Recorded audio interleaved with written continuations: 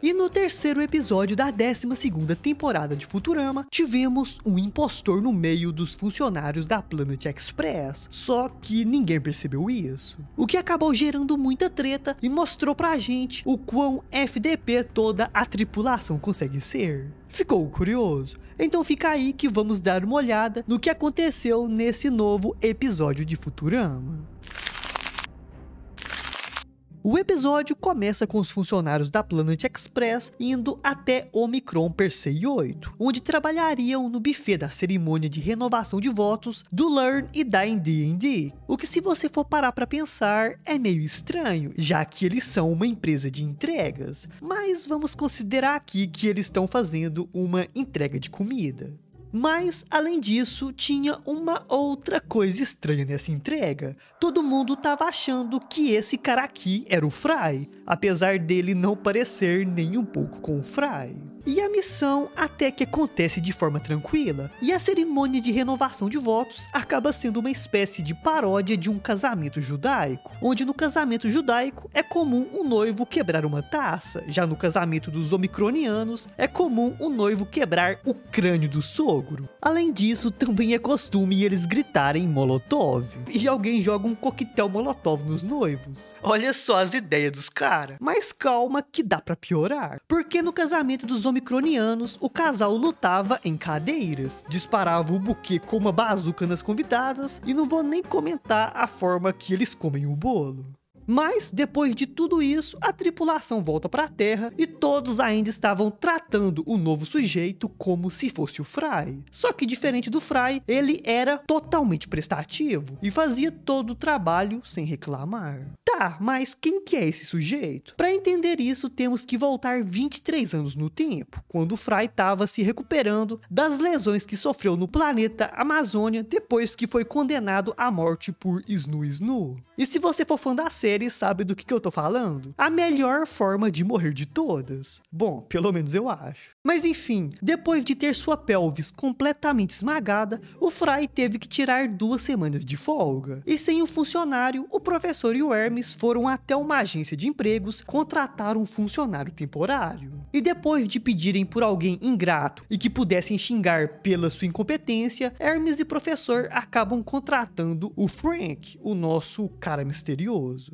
Só que o coitado do Frank não tinha personalidade. Basicamente, ele era tão insignificante que ninguém ligava para ele e viviam se esquecendo que ele existia, mesmo ele estando na frente das pessoas. No entanto, depois de descobrir sobre o seu trabalho como entregador, que envolvia viajar pela galáxia, Frank fica super animado, já que ele nunca havia viajado na vida, porque ele apenas trabalhava. E assim, Frank acaba viajando para todo canto, entregando todo tipo de coisa. Além do mais, ele fazia todo o trabalho sem reclamar, e ainda por cima tratava bem o Zoidberg.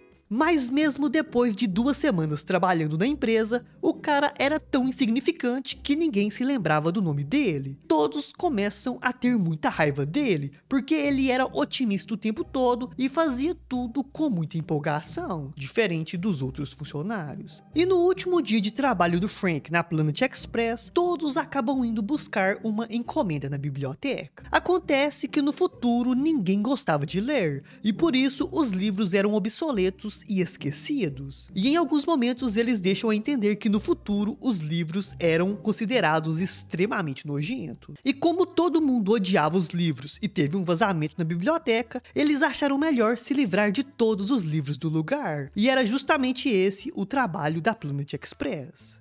E assim, a tripulação resolve descartar tudo em um depósito de livros. Basicamente um planeta onde eles despejavam todos os livros como se fossem lixos. Olha só para vocês verem, tinha montanha de lixo, quer dizer, de livros para todos os lados. E depois de descartarem os livros, todos vão embora. Só que eles simplesmente esqueceram o coitado do Frank para trás, porque ele era tão insignificante que todos se esqueceram completamente que ele existia. E assim, o Fry volta das férias, e 23 anos se passam sem ninguém lembrar do coitado do Frank. Mas aí, quando eles estavam se preparando para o casamento do Learn, Fry comenta que estava muito cansado e que tinham 23 anos que ele não tirava férias. E só assim é que eles param para pensar o que tinha acontecido da última vez que ele tirou férias e se lembram que tinham deixado o coitado do funcionário temporário no lixão de livros. E como o planeta lixão ficava próximo a Omicron Persei 8, o professor autoriza que eles parassem lá para pegar o cadáver do cara. Só que para espanto de todos, o Frank ainda estava vivo. Só que ninguém ainda se lembrava do nome do coitado. Ele então explica que para sobreviver todo esse tempo foi obrigado a comer livros,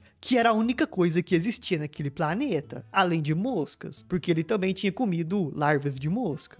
E assim eles levam Frank para se limpar e dizem que ele podia usar qualquer produto de higiene que quisesse do Fry, porque ele nunca usava. E depois de se limpar, o Frank tem uma ideia bastante ousada. Ele se veste como Fry e usa uma técnica maluca de hipnose para hipnotizar toda a tripulação e fazê-los acreditar que ele era o Fry. E assim todos vão embora daquele planeta, só que dessa vez deixando o coitado do Fry para trás, que é era o único que não tinha culpa nenhuma pelo que aconteceu com o Frank.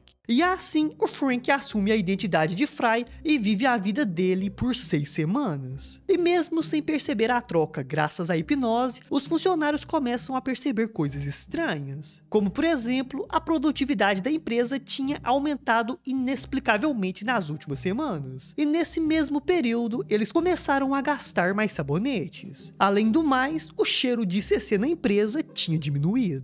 E percebendo que tudo isso tinha começado logo após entregarem o bolo de casamento, eles começam a pensar no que, que podia ter acontecido para essas mudanças. E depois de olharem os registros da nave, eles descobrem que tinham parado no lixão de livros, só que ninguém se lembrava disso, já que o Frank tinha apagado isso da memória deles. Mais determinados a descobrir o que tinha acontecido, eles resolvem voltar para o lixão de livros, e sem opção, o Frank teve que ir com eles. E obviamente que isso deu muito ruim, porque eles acabam encontrando com o Fry, que parecia um mendigo. Só que graças à hipnose, ninguém acreditava que o Fry era o Fry. Porém, ele tinha fotos para provar que era o verdadeiro. E com isso, de alguma forma, ele consegue quebrar toda a hipnose. E sem escolha, o Frank teve teve que admitir toda a verdade, mas mesmo assim, ninguém se lembrava dele. E ele teve que explicar de novo que era o empregado temporário que eles deixaram para trás naquele lixão por 23 longos anos. E segundo Frank, seu único passatempo naquele lugar eram dois livros que não estavam mofados, e um deles se chamava A Arte de Flang Fu, uma arte de controle da mente milenar, basicamente aquela hipnose com os olhos que o Frank estava usando o episódio todo. Mas mas o que Fry não conseguia entender era por que o cara queria ficar no lugar dele. E o Frank explica que é porque a única vez que ele realmente foi feliz na vida foi quando trabalhou na Planet Express no lugar de Fry. E queria apenas sentir isso de novo. Mas como seu plano falhou, Frank diz que iria partir para o plano B, abandonar todos naquele lixão para sofrerem igual ele sofreu.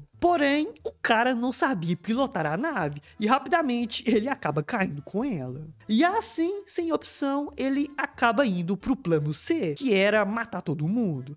E como o cara não parava de atirar feito um doido para todos os lados, o Bender acaba desenvolvendo um plano para poder pará-lo, que era usar uma pimenta super potente que estava na nave para criar uma granada e cegar o inimigo. E para conseguir pegar essa pimenta, eles resolvem entrar de fininho pelo motor traseiro da nave, o que acaba expondo eles a altas doses de radiação. Só que graças a toda essa radiação, quando eles entram na nave, acabam perdendo a memória recente e se esquecem completamente do Frank. E por isso, eles simplesmente vão embora e deixam o coitado do Frank para trás de novo.